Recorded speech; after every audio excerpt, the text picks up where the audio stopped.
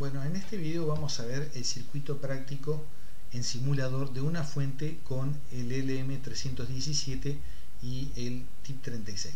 Esto corresponde con el esquema que vimos en clase, con todo lo que explicamos allí, y acá estamos viendo una, realización posible del circuito que les puedo asegurar que funciona bien. Primero porque este simulador es excelente y lo que simula este simulador es porque después en la práctica funciona este, y funciona bien.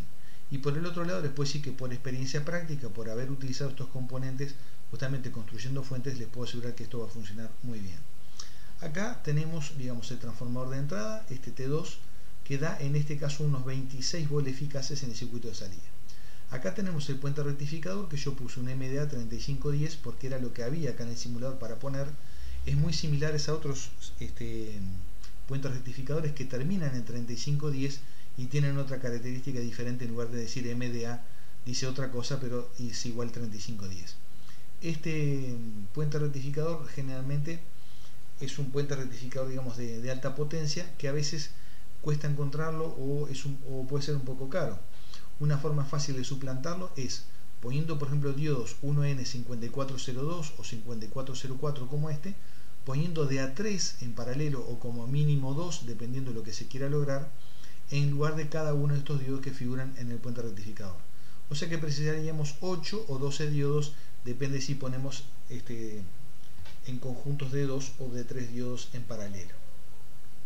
Si uno quiere una buena capacidad de corriente y más tranquilidad, les aconsejo poner 3, digamos, eh, en paralelo por cada uno de ellos serían 12 diodos y ahí tendremos total confiabilidad. Aparte estos diodos son bastante baratos y mucho más fáciles de conseguir. Acá donde dice el M317, en el video anterior veíamos que utilizábamos el LM317T porque es el más fácil de conseguir aquí en el mercado. El LM317K corresponde con otro encapsulado que viene siendo el TO3. Ese encapsulado TO3, eh, en mi caso yo lo utilicé y a mí me dio un, excelente resultado en cuanto a disipación de potencia es un encapsulado totalmente metálico como el del transistor por ejemplo 2N3055 es de ese tipo y este realmente me dio muy buen resultado en cuanto a que en la mayoría de los casos no fue necesario ni siquiera ampliar la capacidad de potencia de la fuente porque este, podía sacarle hasta un poquito más de 2 A al circuito integrado sin ningún problema, lo cual para la mayoría de las aplicaciones me alcanzaba bien. Después tenemos acá el T36, el TI36 sabemos que es un transistor de 25 A del tipo PNP simple este, y no recuerdo en este momento los datos de potencia y, este, y voltaje colector emisor máximo, pero para esta aplicación sobra. El voltaje colector emisor, ya les digo, no recuerdo exactamente cuánto es y no tengo manual a mano aquí, pero para el TIP 36B debe ser por lo menos 60, 60 volt entre colector y emisor, cosa que aquí no llega nunca a ese valor en cuanto a la disipación de potencia, este, como vamos a ver ahora, eh, se ve que está perfectamente bien holgado porque no, no hay problema con eso. Acá vemos el circuito formado por D2, que es un diodo 1N5402, que la juntura de este diodo no es idéntica a la juntura base emisor del transistor Q1, ni mucho menos, pero es aparentemente bastante similar y las dos resistencias acá este, dan una buena relación de corriente haciendo pasar una gran corriente por el transistor T36 y un poco y bastante menos por el, el integrador regulador. Acá en el cálculo que habíamos hecho en clase nos daba para una relación de 4 a 1 nos daba 0.25 ohms. Acá pusimos 0.22 simplemente porque esta resistencia es mucho más fácil de encontrar, incluso mucho más fácil de encontrar que la de 0.24 y más para estos niveles de potencia. Esta resistencia tendría que ser de por lo menos 5 watts como mínimo para que el circuito funcione bien y no se rompa. Y esta resistencia sí, esta no, requiere tanta potencia, con un watt estaría bien y este, como se puede ver funciona perfectamente bien la relación digamos entre las dos resistencias en lo que tiene que ver con la distribución de las corrientes entre el integrador regulador y el transistor. Acá en el circuito de salida hay otro pequeño cambio que en lugar de utilizar, perdón, aquí no es necesario este valor tan bajo. Acá vamos a poner 220 igual lo pueden llevar a 180, aclaro, lo pueden llevar a 180 y, a 180 y funciona perfectamente bien. Este, en, en, clase habíamos visto que el valor típico que se utiliza son 240, pero con 220, que es una resistencia totalmente estándar, se puede hacer funcionar y va a funcionar perfectamente bien. El potenciómetro es un clásico de 5K, acá unimos el cursor a una de las puntas y listo, y ahí nos quedó pronto para, trabajar. Ahora vamos a ver la simulación de este circuito. Aquí pues vamos a poner una resistencia de carga más chica, por ejemplo en este caso 2.7 ohms y vamos a ver lo que ocurre. Acá intercalamos un voltímetro en el condensador de, filtro en paralelo con el condensador para ver el voltaje a la salida del puente rectificador, o sea, lo que es lo mismo decir el voltaje a la entrada regulador de, de voltaje. Pusimos un amperímetro en el circuito de salida, que viene siendo este que está acá, el instrumento 2, y el instrumento 1 mide el voltaje de salida. Hacemos correr la simulación y acá vamos a ver los resultados. Bueno, tenemos la fuente al máximo para empezar. Vamos a bajarla al valor que nos interesa, que son 14 volt aproximadamente. Ahí está. Un regulador de voltaje, por ejemplo, de, alternador, más o menos va a regular, en, va a cortar en 14,2 volt aproximadamente. Es lo que tenemos aquí aproximadamente, 14,17 es casi lo mismo que 14,2. Como se puede ver en este caso, la simulación corre bien, si no, si hubiera algún problema esto ya estaría parado y estaría indicando un mensaje de error. Y acá vemos que tenemos 5,25 amperes de carga en el circuito de salida. Quiere decir que esto es capaz perfectamente bien de entregar una corriente de carga de 5,2 amperes, tal como lo está mostrando acá. Y en realidad puede mostrar, eh, puede incluso entregar más corriente. Vamos a probar, por ejemplo. Acá paramos la simulación y aquí vamos a bajar, por ejemplo, esta resistencia. Vamos a darle 2,2. 2,2 ohm. Con 2,2 ohm corremos la simulación de vuelta.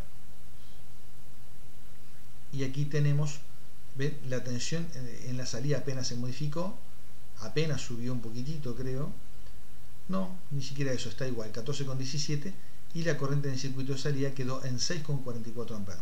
Quiere decir que esta corriente, eh, esta fuente funciona muy bien en cuanto a su capacidad digamos de entrega de corriente vamos a ver la tensión aquí en el, en el puente rectificador tenemos 30,61 volt con apenas 26 volt que tenemos en este 26 volt que tenemos en en el secundario, digamos, del transformador. Ahora vamos a, ver, por ejemplo, qué pasa si nosotros eh, vamos a subir esta resistencia un poquito, la de 2,2, vamos a ponerle 8.2, ahora vamos a ver por qué, 8,2 son, y, y vamos a subir un poco la, la tensión, digamos, a la salida.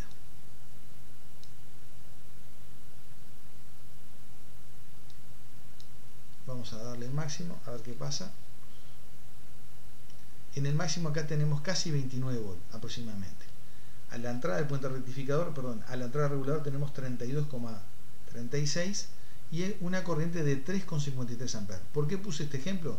en caso de que quisiéramos probar reguladores de voltaje por ejemplo este, de alternador de 24 volt la mayoría de esos reguladores cortan en 28 volt y la corriente en la bobina de campo generalmente es bastante menor que este valor, por lo cual significa que perfectamente bien lo podemos utilizar esta fuente para incluso probar ese tipo de, reguladores. Esta es una fuente de taller que en realidad tiene múltiples objetivos, ¿no? Este, prácticamente con una fuente que regule hasta estos valores tiene una gran utilidad para, muchas cosas. Acá, por ejemplo, vamos a detener la simulación de vuelta y vamos a, cambiar un poco la resistencia salida. Vamos a ponerle 12 ohm ahora. A ver qué pasa. Y con 12 ohm la corriente ven se reduce 2,47 amperes. Esto generalmente es hasta un poco más todavía de lo que de la corriente que maneja un alternador de, 24 amperes en la bobina de campo. La tensión subió a 29,65, casi 30 volt, y la tensión en el puente rectificador sigue siendo 33,15 volt. No nos olvidemos que esta tensión está medida con rizado y todo, este, con el rizado correspondiente, digamos, en el condensador. Quiere decir que acá este, el regulador está trabajando bien, no se está excediendo el valor. Hay que recordar que este regulador, digamos, funciona hasta con 40 volts en la entrada, pero también acá hay caídas de tensión tanto en el diodo de 2 como en la resistencia R3. Quiere decir que el circuito está funcionando perfectamente bien, bien protegido y no hay problema. Un componente que se me olvidó explicar es este diodo D3 acá arriba, que está puesto al revés, con el cátodo para el lado del puente rectificador y el, y el ánodo para el circuito de salida. O sea, eh, en definitiva, Este diodo está puesto entre la entrada y la salida regulador. Y entre la entrada y la salida del regulador. Les aclaro para qué es ahora.